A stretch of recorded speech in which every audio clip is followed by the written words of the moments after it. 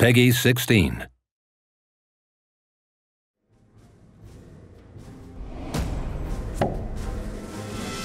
We return to Rivellon to take a look at Divinity Original Sin Enhanced Edition's dynamic turn-based combat system.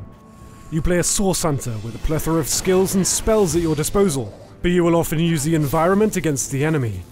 With new difficulty modes, Explorer, Tactician, and Honor mode, as well as classic Original Sin modes, enjoy fluid, accurate turn-based combat that performs effortlessly on gamepads. Snap to targets, scroll through your skills, access your advanced skill bar, all thanks to an intuitive control system designed for gamepads. In a party of two to four adventurers, some of whom you'll meet along your journey, fight alone or cooperatively in local split screen or online, picking from 12 classes, including the Inquisitor, a completely new class.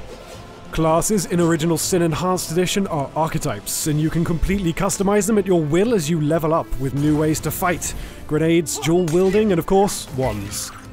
Depending on your desired difficulty mode, the combat in Original Sin Enhanced Edition can be torturously tactical or bright and breezy. It just depends on your playstyle. Take advantage of crowd control spells such as Petrify, Charm, and Freeze, required in the harder difficulty settings, or simply ignite, inflame, poison, and electrify your way through the world. Zapping water underfoot to shock or engulfing the enemy in flames by igniting a nearby oil barrel. Use of the environment to your advantage and uh, disadvantage is key to success in combat. Charm a group of wolves to fight for you with Charm Grenade, or put out an ally on fire with perhaps the most powerful weapon in RPG history the Water Balloon. The combinations are as endless as your imagination.